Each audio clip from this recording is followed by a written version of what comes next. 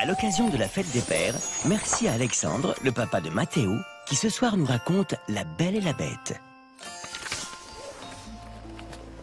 Perdue dans la forêt, une jeune fille aperçoit au loin un étrange château. Allons demander de l'aide, dit Belle à son cheval. Quelle étonnante demeure Tous les objets bougent et parlent. Je vous souhaite un bon appétit, s'exclame Lumière, le chandelier. Et aussitôt, la vaisselle et les couverts se mettent à danser. Belle n'en croit pas ses yeux. Puis, la fête terminée, Belle décide de visiter le château. Qui vous a permis de venir ici grogne soudain une bête effrayante.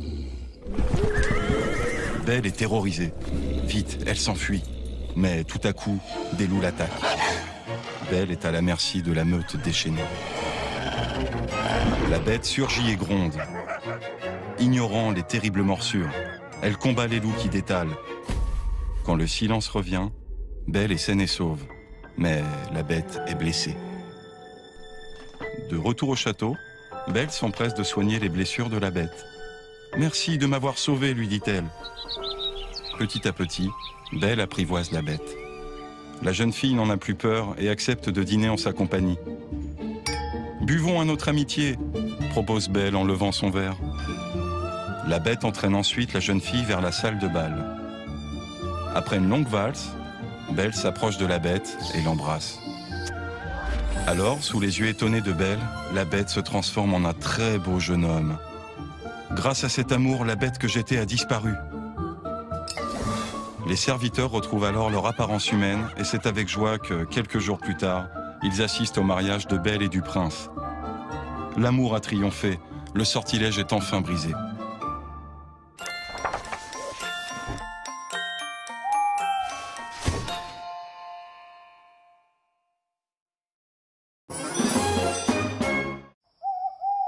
À l'occasion de la fête des mères, merci à Virginie, la maman de Jade, qui ce soir nous raconte Alice au pays des merveilles.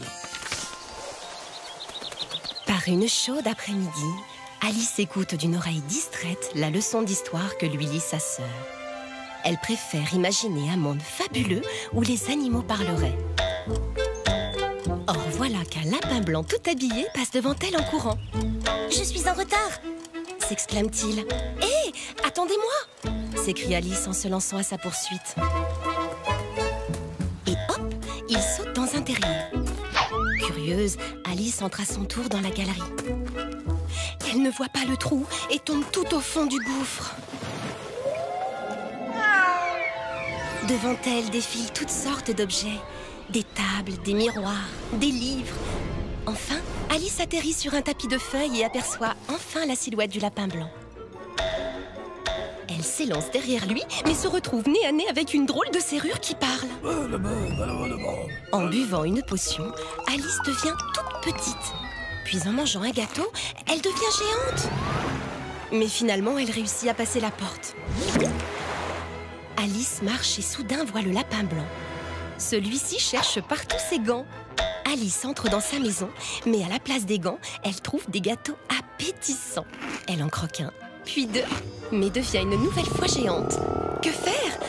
Elle attrape une carotte dans le jardin et cric, croc, elle redevient petite. Le lapin blanc s'enfuit encore. Alice croise une grosse chenille bleue et le chat de Chester. Mais aucun d'eux ne peut lui indiquer le chemin. Elle va de ce côté-ci, de ce côté-là, et surprise découvre un palais et des jardiniers qui sont en fait des cartes à jouer.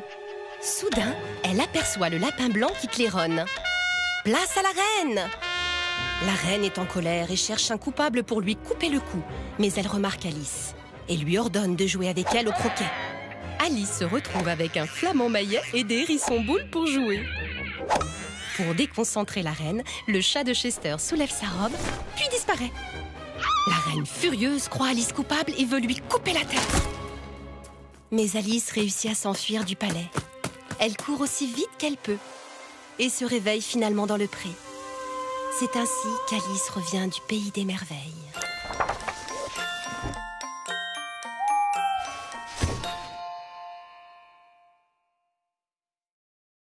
Tous les jours sur Disney Junior, quand le jour est sur le point de tomber, c'est le moment de retrouver les plus belles histoires des héros Disney.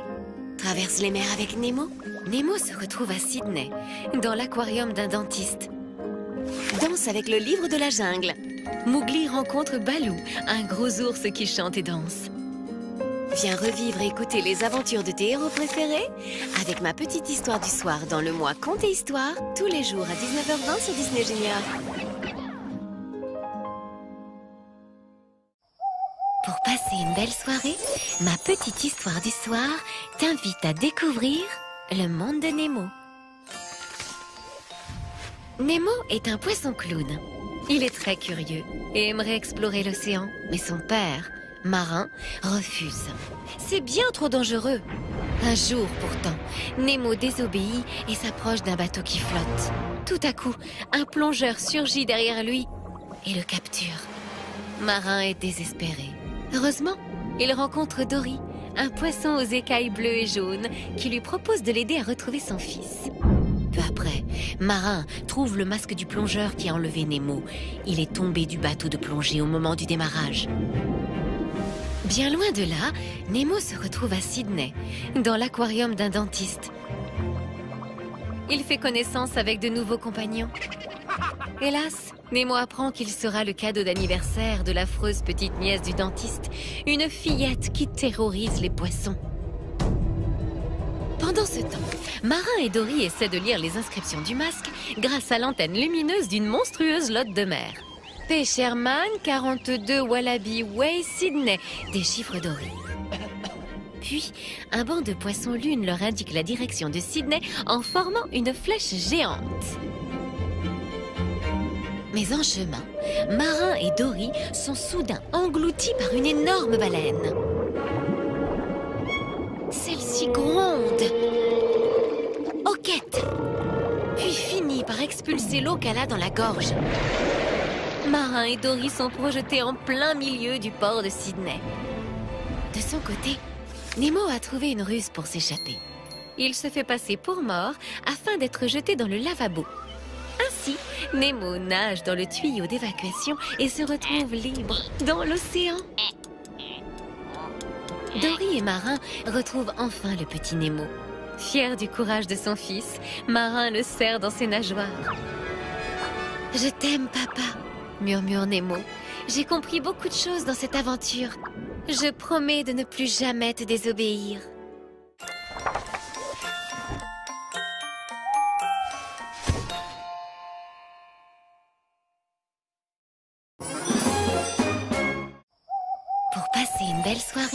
Ma petite histoire du soir t'invite à découvrir le livre de la jungle.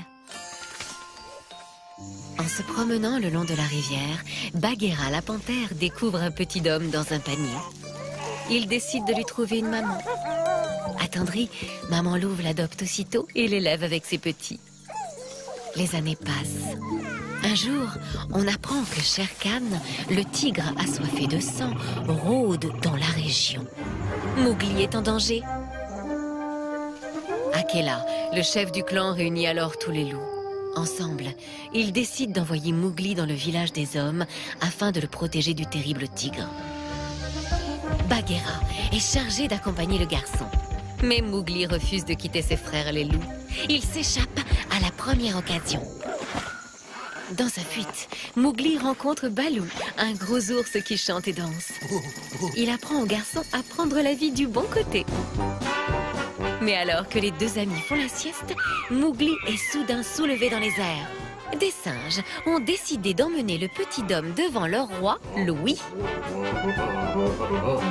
Balou, déguisé en ravissante guenon, se rend chez les singes pour sauver son ami. Mais il se dandine tant qu'il perd son déguisement. Heureusement, Bagheera surgit et sauve le jeune garçon. Tu ne fais que des bêtises, gronde la panthère. Tu as mis cet enfant en danger, il faut le ramener au village des hommes. Profitant de leur dispute, Mowgli leur fausse compagnie une nouvelle fois. Il se repose un instant et fait la connaissance d'une bande de vautours qui lui font oublier ses malheurs. Mais alors que Mowgli s'amuse, le terrible Shere Khan est toujours à sa recherche. Soudain, le tigre surgit et bondit sur le garçon. Mais avec l'aide des vautours et de Balou, Mowgli parvient à s'échapper. Grâce à une branche d'arbre enflammée par la foudre, Mowgli fait fuir à jamais son ennemi. Tout est bien qui finit bien pour les deux amis qui sont très heureux de se retrouver. Le lendemain, Mowgli aperçoit une petite fille au bord de l'eau. Intrigué, il s'approche alors que Balou et Bagheera le regardent d'un air malicieux. Le garçon décide finalement de rester dans le village des hommes. Au revoir les amis, on se reverra bientôt.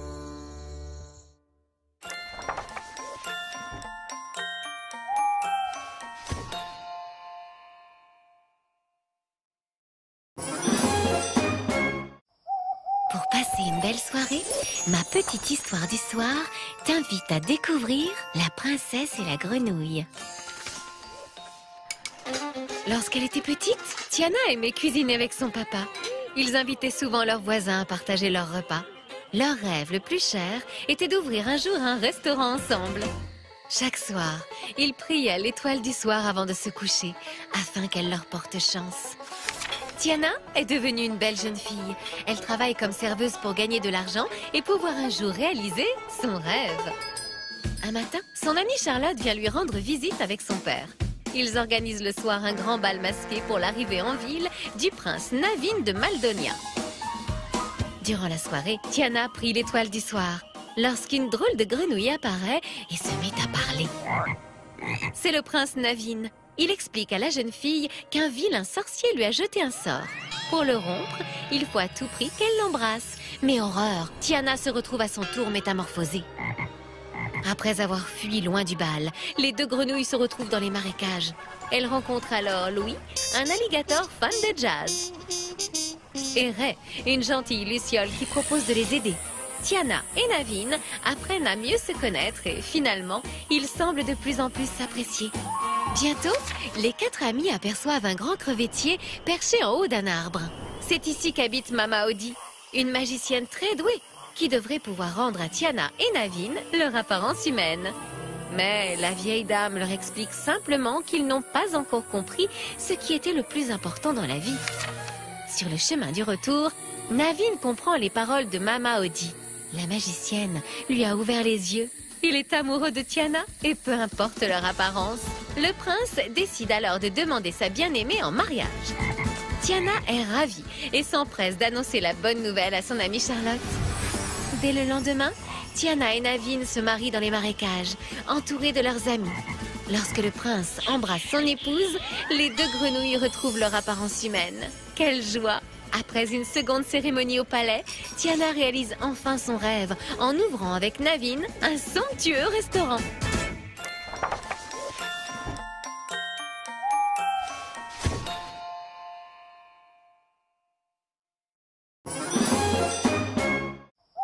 Pour passer une belle soirée, ma petite histoire du soir t'invite à découvrir Réponse. Grâce à la fleur d'or magique, la reine donne naissance à la jolie princesse Réponse. Mais la sorcière, Mère Gothel, l'enlève, car les cheveux magiques de Réponse ont le pouvoir de lui rendre sa jeunesse. Réponse grandit dans une haute tour cachée dans la forêt. Elle voudrait sortir, mais Mère Gothel le lui interdit, car elle a besoin de ses pouvoirs. Un jour, le voleur Flynn dérobe la couronne royale. Même Maximus, le cheval du capitaine de l'armée du roi, veut l'attraper. Vite, Flynn va se cacher dans la tour perdue. Aide-moi à sortir, ordonne Réponse, ou je garde la couronne. Réponse est enfin libre. Quel bonheur de pouvoir courir. Alors que Mère Gothel part à leur recherche, Réponse et Flynn se réfugient dans une taverne.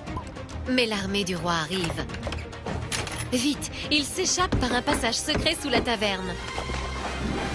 Réponse et Flynn sont sauvés. Mais pendant ce temps, Mère Gothel engage les anciens complices de Flynn pour retrouver le voleur et la princesse. Le lendemain, il y a une fête à la citadelle. Réponse va admirer le portrait de la princesse disparue. Le soir, Réponse et Flynn contemplent les lanternes flottantes dans le ciel. Quand elle était dans sa tour, Réponse regardait ce spectacle de loin chaque année, le soir de son anniversaire. J'ai attendu ce moment toute ma vie, dit-elle émue. Malheureusement, Flynn est arrêté par ses anciens complices. Abandonnée, Réponse rentre à la tour.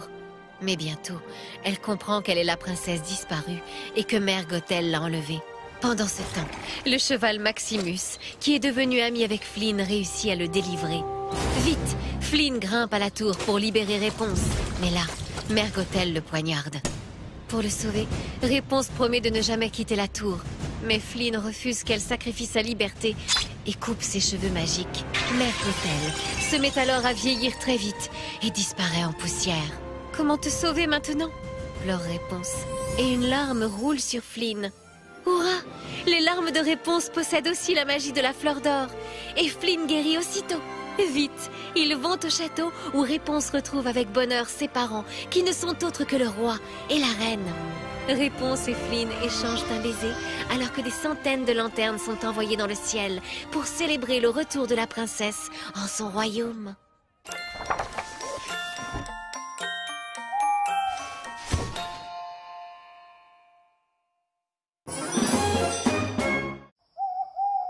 Pour passer une belle soirée, ma petite histoire du soir t'invite à découvrir l'anniversaire de Martin. Aujourd'hui, c'est l'anniversaire de Martin. Ses amis lui organisent une fête surprise. En cachette, Martin ne perd pas une miette de ce qui se prépare en son honneur. Vite, tout doit être prêt pour ce soir. Luigi gonfle les ballons avec sa pompe et Guido réalise un splendide gâteau de pneus. De son côté, Fillmore cuisine un peu de sa délicieuse essence. Martin en raffole. Qui fonce à toute allure C'est Jeff Corvette. Il ne veut surtout pas être en retard pour la fête. Flash a prévu plein de jeux pour l'anniversaire de son ami, car Martin adore jouer. Sally emballe les cadeaux. Elle compte offrir à Martin un nouveau crochet de remorquage et un enjoliveur tout rouillé. Flo décore la salle avec des guirlandes et de ravissants rubans. Red utilise son échelle pour les accrocher. Quelle équipe de choc Pendant ce temps, Ramon peint un superbe portrait de Martin sur un capot. Il est l'heure. Sergent conduit les amis de Martin vers le lieu de la fête. Il roule tout doucement. Chut Martin ne doit pas les entendre. Finn et Holly, les deux agents secrets, se rendent aussi à l'anniversaire.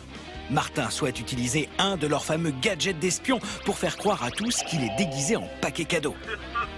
Grâce à ce tour d'illusion, ses amis n'y verront que du feu. Quel farceur ce Martin La fête peut enfin commencer. Tous les cadeaux sont empilés et les ballons sont accrochés. Un bruit retentit. Vite, c'est Martin qui arrive. Les voitures se cachent. Joyeux anniversaire s'éclament en chœur tous les amis. Mais ce n'est pas Martin, c'est Lizzie qui apporte de drôles de chapeaux pour la fête. La nuit est déjà tombée, mais où est Martin? Sans perdre une minute de plus, Flash part chercher la remorqueuse. Shérif aussi sillonne les routes. Toujours sans nouvelles de leur ami, Flash et Shérif retournent à la fête. Les voitures sont vraiment inquiètes. Martin, lui qui aime tellement s'amuser, est absent pour sa propre fête d'anniversaire. Surprise Martin fait disparaître le fameux paquet cadeau. Les voitures sont épatées. La remorqueuse était cachée sous leur nez depuis tout ce temps. Martin a réussi à piéger ses amis grâce à son déguisement. Et maintenant, que la fête commence. Tous les amis jouent, rient et se déguisent. Joyeux anniversaire, Martin.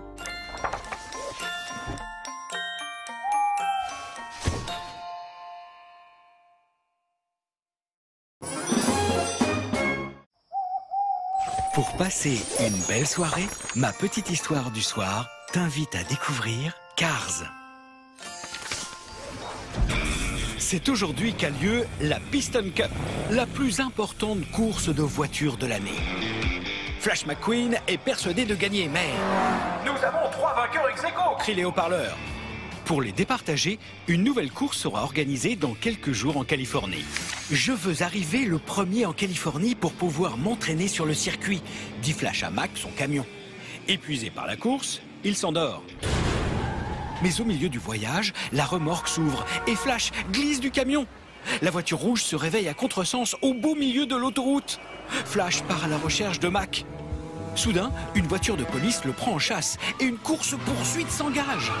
En tentant de s'enfuir, Flash McQueen cause beaucoup de dégâts dans une petite ville isolée nommée Radiator Springs. Il est convoqué le lendemain par le tribunal et condamné à réparer la route. Flash est furieux. Il doit tirer un énorme engin de chantier pour goudronner la route. Il devrait plutôt s'entraîner pour la course. Heureusement, les habitants de la ville sont très gentils. Il y a les garagistes Luigi et Guido, Martin, le camion remorqueur, et Sally, la belle voiture de course. Quelques jours plus tard, la route est enfin terminée. Sally emmène alors Flash faire une petite promenade. Elle lui explique qu'avant, plein de touristes s'arrêtaient à Radiator Springs. Désormais, plus personne n'y passe et les habitants se sentent inutiles. Flash est triste. Il voudrait faire quelque chose pour ses amis, mais l'heure de la course a sonné et il doit quitter la ville. Avant de partir, il décide d'acheter des pneus neufs chez Luigi, de faire le plein d'essence biologique chez Fillmore, et il choisit même de nouveaux autocollants à la boutique. Flash est heureux de faire ce cadeau aux habitants de Radiator Springs, et en plus, son style va faire un malheur en Californie. Le jour de la course, tous les amis de Radiator Springs sont venus soutenir Flash. Mais alors qu'il est sur le point de gagner, il fait demi-tour pour porter secours à l'un de ses concurrents qui a eu un accident. Flash McQueen a finalement compris que la gloire importe peu. Après la compétition, il décide même de retourner vivre avec ses nouveaux amis et la belle Sally, dont il est tombé amoureux.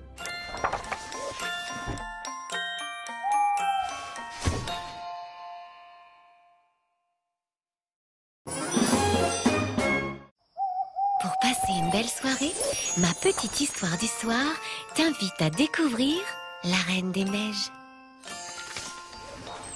Au royaume d'Arendelle, le roi et la reine ont deux filles. La plus jeune s'appelle Anna et sa sœur aînée Elsa. Elsa a de grands pouvoirs. Elle peut geler les choses et fabriquer de la neige. Mais elle a peur de blesser sa sœur et garde ce secret pour elle seule. Les années passent et c'est à Elsa que revient le trône. Le jour du couronnement, Anna rencontre le prince Hans. Ils décident aussitôt de se marier. La nouvelle reine s'oppose à leur mariage. Les deux jeunes gens viennent à peine de se rencontrer. Prise de colère, Elsa laisse échapper un rayon glacé de sa main. La reine quitte le château en gelant tout sur son passage. Elle s'enfuit alors dans les montagnes et crée un somptueux palais de glace. Anna part à sa recherche et rencontre Christophe, un vendeur de glaçons, et son reine, Sven. Sur le chemin, il découvre un drôle de bonhomme de neige, Olaf, créé par Elsa. Celui-ci les conduit jusqu'au palais de la reine. Anna aimerait tellement que sa sœur revienne à Arendelle, mais la reine ne veut rien entendre. Énervée, elle lance un rayon glacé qui frappe sa sœur en plein cœur. Pendant ce temps, le prince Hans est parti à la recherche de la reine. Le soi-disant prince charmant n'avait en réalité qu'un seul but, voler le trône. Il capture la reine et l'enferme dans le donjon. De son côté, Christophe remarque que les cheveux d'Anna blanchissent. Il la conduit chez les trolls. Un vieux sage leur apprend que son corps sera entièrement gelé d'ici une journée. Seul un véritable acte d'amour peut la sauver. Christophe, malgré ses sentiments pour la jeune princesse, décide de la ramener au château auprès d'Hans, son fiancé. Lorsqu'Anna rejoint enfin son prince et lui demande à baiser pour la sauver, il refuse. Hans n'a jamais été amoureux de la princesse. Elsa, elle, s'est enfuie du château, mais Hans la rejoint prêt à la tuer. Anna rassemble le peu de force qu'il lui reste pour protéger sa sœur. Au moment où elle devient une statue de glace, Hans abat son épée et la lame se brise sur son corps gelé. Elsa, en pleurs, serre sa sœur dans ses bras. Anna se met alors à dégeler. L'amour de la Reine des Neiges l'a sauvée.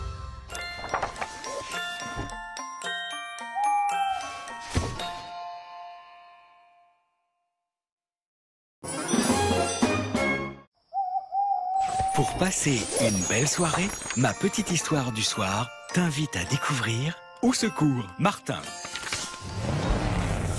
Flash McQueen et Martin se baladaient sur Main Street quand Martin dit soudain Tu sais, j'ai été camion de pompier. Quoi? S'étonna Flash? Sur la gomme de mon père, c'est vrai, jura Martin. Et il commença son histoire. Alerte Départ de feu hurla la voix dans le haut-parleur de la caserne. Il n'y avait pas une minute à perdre. Martin se mit aussitôt en route. Martin arriva sur le lieu de l'incendie pour essayer de l'éteindre. Avec son tuyau, il lança de l'eau directement sur l'immeuble en feu. Martin souffla McQueen en interrompant son ami. Franchement, je ne peux pas croire que tu aies été camion de pompier. Rappelle-toi, nom d'un pneu, insista Martin. Tu étais là, toi aussi. Ah Au secours À moi criait Flash en cherchant un moyen d'échapper aux flammes. Reste calme, lui dit Martin, en l'aspergeant avec de l'eau froide. Martin virevolta rapidement et fit monter une échelle pour aider Flash à s'extirper de l'immeuble. Vas-y, saute cria Martin alors qu'il sortait son ami par la fenêtre juste avant que l'immeuble n'explose. Martin déposa Flash à l'arrière de l'ambulance. Conduisez-le à l'hôpital, il est en surchauffe, ordonna Martin. Bravo Martin crièrent Mia et Tia, les groupies du camion de pompiers. Pendant ce temps, Flash était à plat dans la salle d'opération de l'hôpital. Hein? Qu'est-ce qui s'est passé? Où suis-je? demanda-t-il confus. Flash était encore sous le choc lorsque Martin entra dans la salle. Martin, tu es aussi médecin? s'étonna Flash. Tout le monde à son poste avertit Martin avant de donner une décharge électrique à la batterie de Flash. Non, attendez Ah hurla Flash. Ok. Et que s'est-il passé? demanda Flash. Je t'ai sauvé la vie, répondit Martin. Impossible, dit Flash. Juste à ce moment-là, l'infirmière présente à l'opération arriva. Salut docteur, dit-elle en s'adressant à Martin. Et si, insista Martin en laissant Flash McQueen sans voix.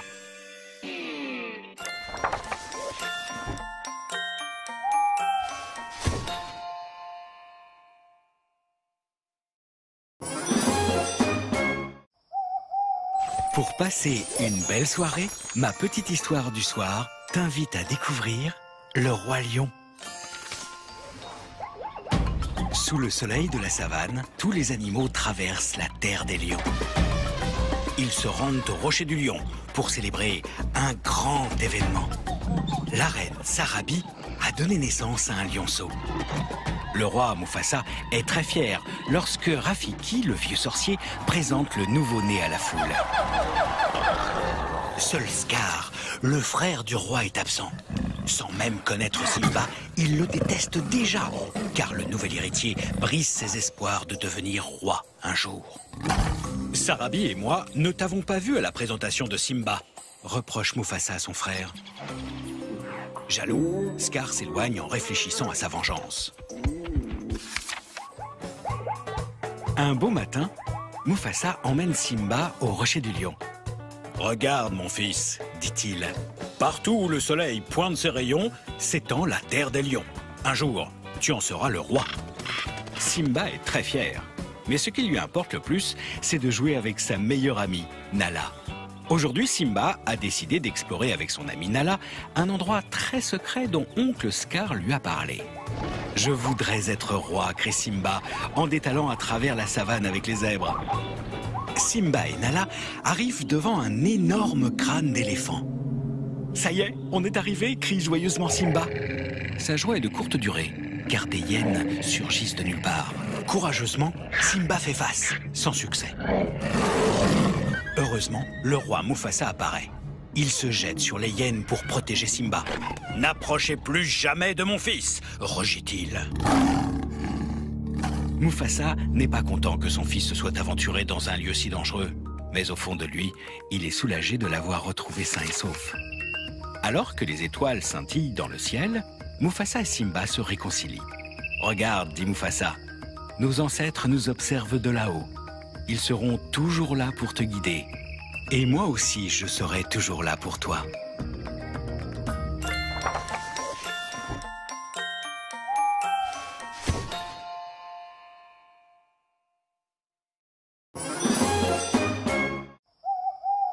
Pour passer une belle soirée, ma petite histoire du soir t'invite à découvrir Ratatouille. Rémi est un drôle de rat qui rêve d'être cuisinier. Sur les toits de Paris, il admire l'enseigne lumineuse d'un grand restaurant. Si seulement il pouvait être aussi talentueux que son idole, le grand chef Gusto, décédé il y a peu lorsque son restaurant a perdu sa troisième étoile. Pendant ce temps, dans le restaurant, Linguini, le fils caché de Gusto, se présente au chef cuisinier Skinner, le successeur de son père. Celui-ci accepte à contre-coeur de lui donner du travail. Il n'aura qu'à s'occuper du ménage. Soudain, patatras, Linguini renverse une marmite. Pour réparer sa maladresse, il essaye de refaire la soupe en versant n'importe quelles épices dans le récipient. Rémi, qui assiste à la scène, décide alors d'intervenir. Il y ajoute quelques ingrédients. Hum, la soupe est délicieuse. La soupe est un succès auprès de tous les clients. Jaloux, Skinner demande à Linguini de refaire sa recette, persuadé qu'il n'y arrivera pas. Mais Rémi, le petit rat, a une ruse. Il se glisse dans les manches de son ami pour lui dicter les ingrédients. Et ça marche Quelques jours plus tard, Rémi découvre une lettre dans le bureau de Skinner. Quelle surprise Linguini est en fait le fils d'Auguste Gusto et l'héritier du restaurant. Devenu propriétaire, Linguini prend alors la grosse tête et en oublie ses amis, Colette et Rémi. Déçu, le rat refuse dorénavant d'aider le jeune garçon. Le soir, c'est la panique au restaurant. Ego, le terrible critique gastronomique est là et attend d'être servi. Mais sans Rémi, Linguini est perdu. Alors, il décide d'avouer la vérité à ses collègues. Le vrai chef cuisinier n'est autre qu'un petit rat. Horrifiés, ils partent tous en courant, sauf Colette et Rémi. Heureusement, tous les amis de Rémi arrivent à la rescousse pour aider Linguini. Et voilà les rats qui épluchent, coupent, assaisonnent pour préparer une délicieuse ratatouille. Lorsqu'Ego demande à voir le chef cuisinier, Colette et Linguini lui révèlent l'existence de Rémi. Le critique n'en croit pas ses oreilles. Mais il s'est tellement régalé qu'il accorde à nouveau une troisième étoile au restaurant.